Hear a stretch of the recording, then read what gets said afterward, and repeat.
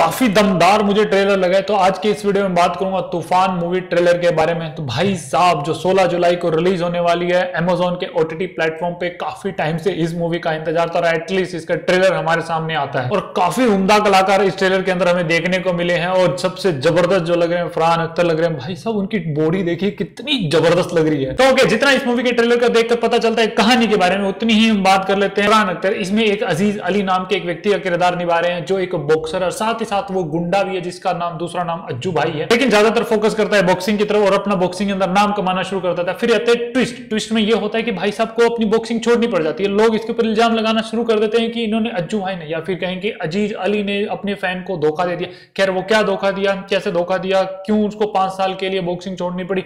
वो तो जब मूवी आएगी तभी वहाँ पर हम बात करेंगे। और सच कहूँ ट्रेलर देखकर घूस बम आ गए थे। इतना ज़बरदस्त मुझे लगा वो ट्रेनिंग की वो दिखाना, उनके अंदर वहाँ पर फाइटिंग दिखाना बॉक्सिंग की इतनी बढ़िया तरीके से रिप्रेजेंटेशन की गई है, वो इतना पसंद आया है मुझे। और जितनी उम्मीदें मुझे इस ट्रेलर से थी, भाई साहब, वो तो खरी उतरी है और उम्मीद है कि यार ये मूवी भी काफ़ी अच्छी जाएगी, क्योंकि बहुत ज़्यादा उम्मीदें लगा ली है। ट्रेलर को देखोगे तो यकीनन आपको पता चलेगा कितनी ज़्यादा मेहनत की गई और फरहान अख्तर तो जाने ही जाते हैं यार, इतनी ज़्यादा हार्ड वर्किंग के लिए, क्योंकि वो बहुत ज़्यादा मेहनत करते हैं अपने हर रोल के लिए। जैसा आप ये मूवी का ट्रेलर देखोगे तो आपको पता भी चली जाएगा। मूवी का ट्रेलर देखते वक्त मुझे एक चीज़ का एहसास हुआ सुल्तान मूवी का, जिसके अंदर सलमान खान का पेट बाहर निकला हुआ होता है और फिर वापस वो कम करने की कोशिश करते हैं ट्रेनिंग करते हैं। ऐसा जब सुल्तान मूवी के अंदर था, थोड़ा बहुत इसके अंदर वैसा है मुझे लगा, क्योंकि इसके अंदर भी फरहान अख्तर का पेट बाहर आ गया, अब उसे वापस लेंगे तो उसके पीछे भी वहाँ पर दिखाने की कोशिश की है। मतलब थोड़ा बहुत कॉन्सेप्ट से सेम सा नहीं लगा आप लोगों को। खैर, हमें ये भी देखने को मिलेगा वो कम कैसे करते हैं बट थोड़ा बहुत मुझे अजीब सा लगा। ऐसा नहीं है कि वो बुरी चीज़ है बट वहाँ पर ऐसी फीलिंग आ गई ऑटोमेटिकली आ गई वो चीज़ देखी तो। और मूवी के अंदर जो कोच का रोल प्ले कर रहे हैं प्रेश रावल सर है, भाई साहब, क्या आउटस्टैंडिंग से उन्होंने परफॉर्मेंस दिया है, ज़बरदस्त लगा है वहाँ पर। देखो, कहानी कैसी भी हो सकती है, वो अच्छी भी हो सकती है, वो बुरी भी हो सकती है, लेकिन पहले प्रेडिक्शन करना मुझे अच्छा नहीं लगता। जब ये मूवी रिलीज़ होगी, तब वहाँ पर उसके बारे में बात करेंगे, लेकिन जितनी भी मैंने इसके अंदर परफॉर्मेंस देखी है, यार, एक तरीके से तो इसके लिए सेटिस्फाई है